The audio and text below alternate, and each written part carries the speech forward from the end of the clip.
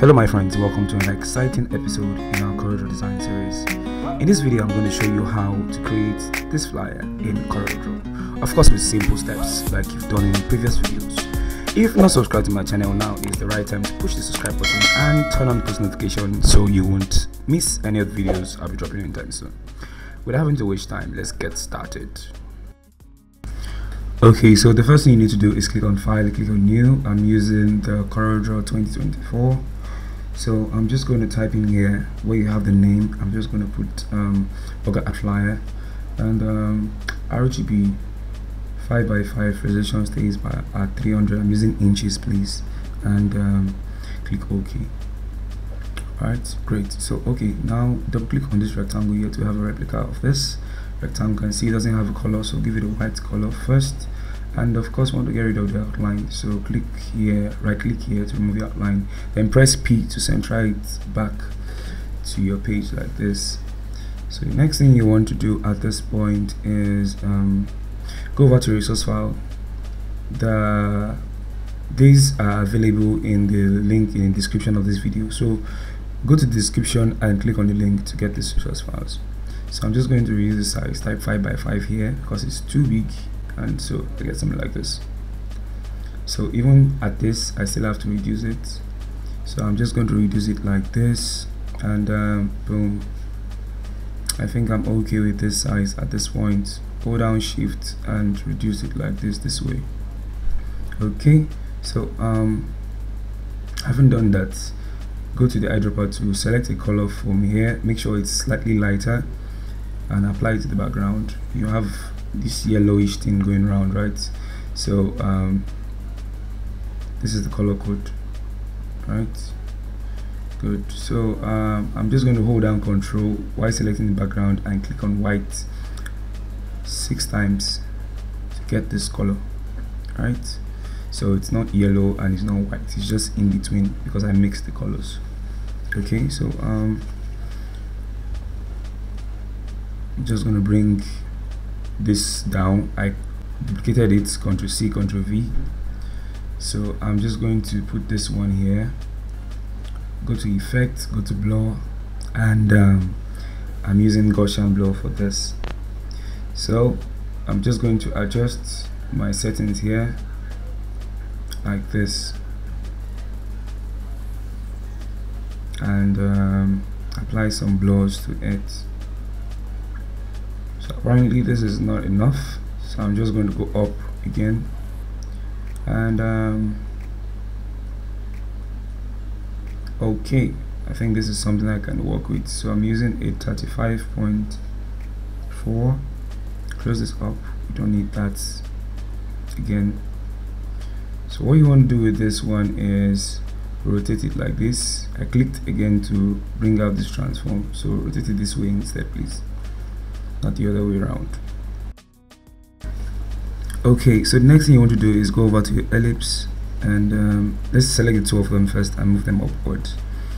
Gonna select the two of them and move them upward like this. And I think I'll just leave it here. Next thing I'm going to do is go and select the ellipse. That this is the ellipse. And draw ellipse like this. I'm not holding down shift or control. I'm just drawing like this. Fill it with the black color. Of course move the outline and use the eyedropper to, to select the color from this part here.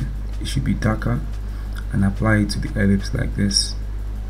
Right make sure you remove the outline. So what you want to do next is go over to transparency click on fountain transparency and click on elliptical fountain transparency guys. Alright? So when you do that go over to effects go over to blur and add some Gaussian blur to it so you can use my settings also that I used here. So somewhere around this part is actually nice. So use my settings. When you're done close this up so we have enough space to work so basically that's one of the things I like about CorelDRAW it gives you enough space to work and uh, sorry that's the wrong thing and I'm sorry if I'm not um, my voice is not that loud. I just woke up to record this. So you can have something to practice with or to work with. Alright so I'm just gonna make this big like this. And um, I'm just gonna rotate it this way. Not too much so we're not doing too much. Okay so um, let's get on with this. Yeah great so go over to my rectangle to select my rectangle. I'm going to draw a rectangle here like this right? Just draw a basic rectangle not proportional kind of. So I'm going to give it this red color while I remove the outline like this.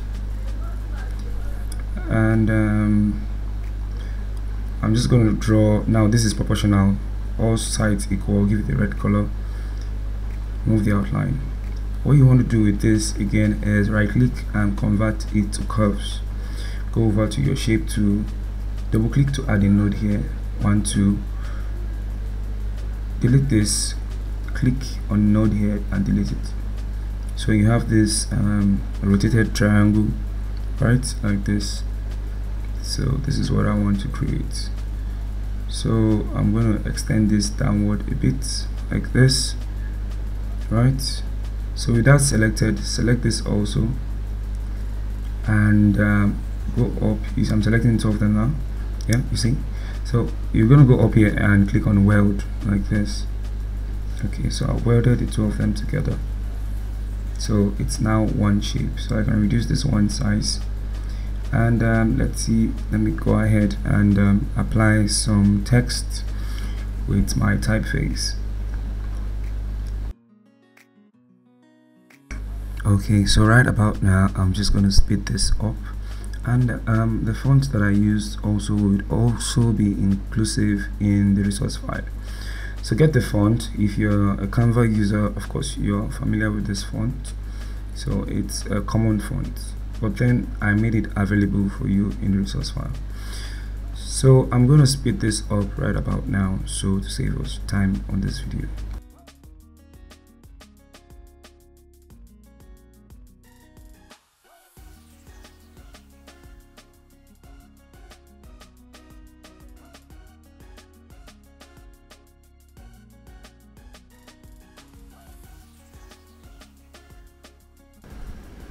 okay so um, now that you had that out of the way um, select everything like this and I'm um, just gonna move it slightly to no that's wrong. Um, slightly to the left like this just slightly to the left. All right and uh, yeah somewhere around here is good good. So it's just in the middle.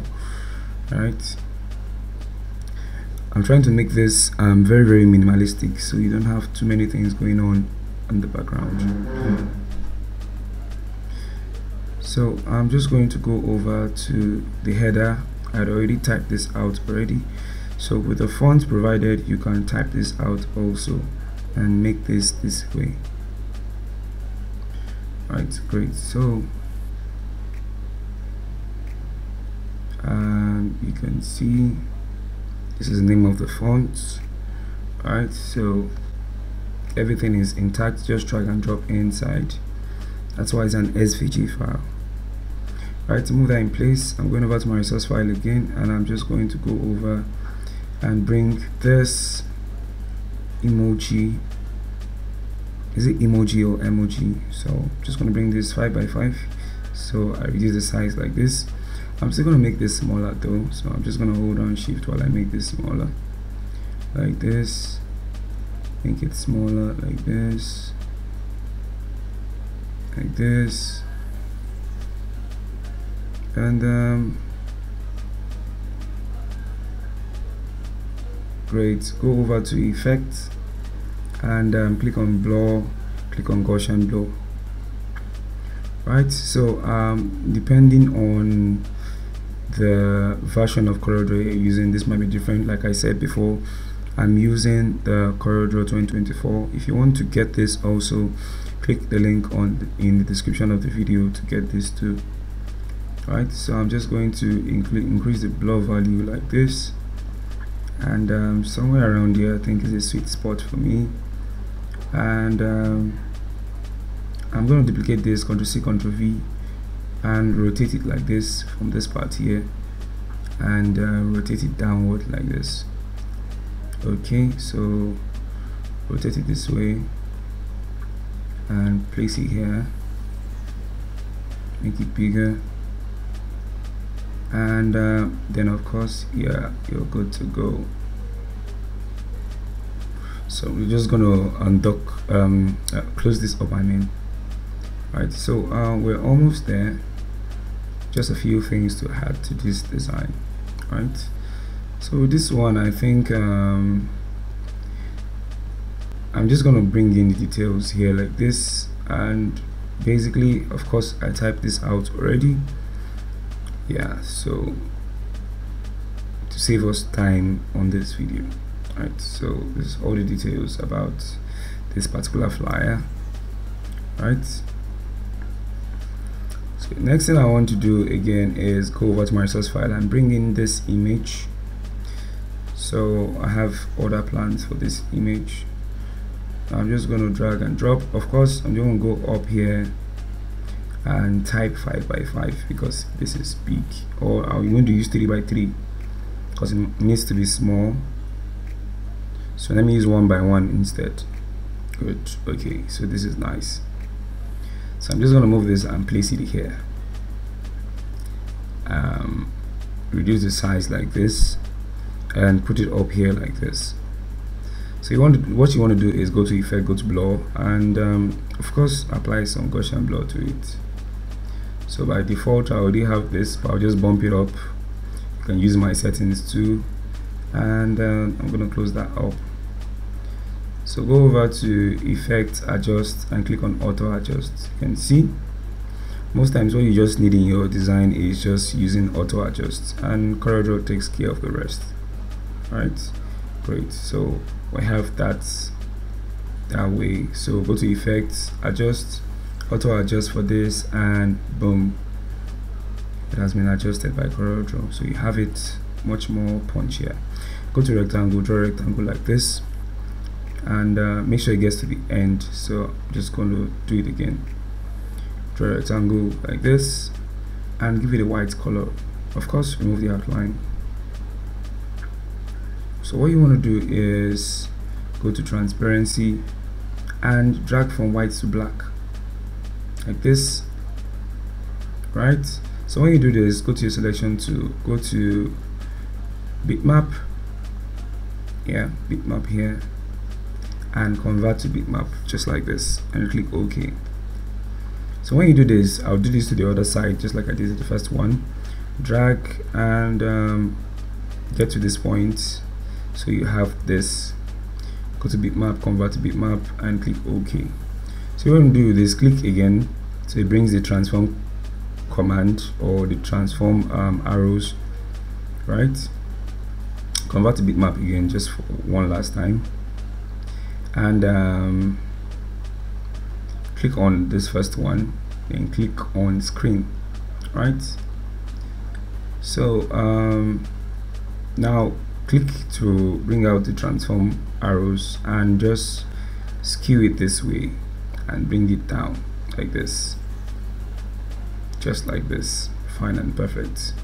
So I can explore several options trying to use this and trying to create something out of this particular process or shape that I just used. But then uh, okay this is too much. So I'm going to delete that one. But you can feel free to explore based on what you just created. And um, of course curiosity helps you. So go over to blur. I'm just going to add some gaussian blur to that. Yep. Great. Good to go so you can use my settings for this also. Right so i'm just going to um, increase it up like this and um, close this up when it's done. Okay so now that we're done and um, I'm just going to finally convert it to bitmap and that's all we do with that. Right so I want to get rid of this part here. I'm using my shape tool for this so that when you save at the end of the day it's you don't have some white out space outside. And that's because some of the things are outside of your design page. So I'm just going to make this slightly bigger go over to effects blur and apply Gaussian blur to this. I think I want to increase this all the way up because it's farther from the first one. So of course perspective and view here matters a lot. So um, I'm just going to go over to my ellipse draw a perfect ellipse use this color that I used in the first place and transparency elliptical fountain transparency right? So what I want to do with this is click this I didn't change the blend mode change blend mode to screen right? So this is what I'm going to use for the lighting. Yes you guessed right. So I'm just going to use this to light things up Ctrl C Ctrl V I'm going to move this here and use it for lighting here. Ctrl C Ctrl V use it for lighting here also. And um, just make sure you're not doing too much. I don't know if this would work here. Uh, no. No no no no no. Um okay so i'm just going to, i'm just going to move it up here. Let it stay here okay great. Um yes yes yes yes. You can see how much difference that actually makes to the design. So I can now move this downward so it's not on top of the page like that. Alright guys this is how I created this amazing flyer inside of CorelDRAW I'm just moving this down like this.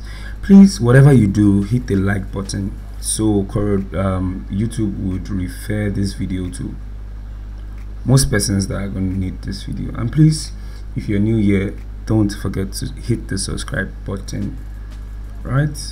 And turn on post notifications so you miss any of the videos I'll be dropping anytime from now.